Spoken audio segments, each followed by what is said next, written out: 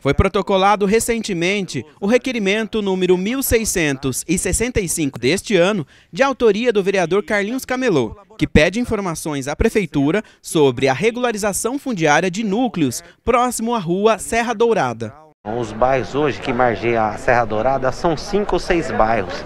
E hoje todas as pessoas que moram lá não têm infraestrutura naquele, naquele local.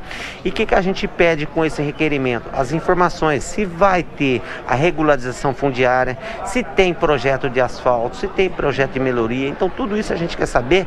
Se não tiver, a gente vai começar a encaminhar. A ideia da regularização fundiária é legalizar a permanência de moradores de áreas urbanas ocupadas em desconformidade com a lei, promovendo o direito social à moradia, a função social da propriedade e da cidade.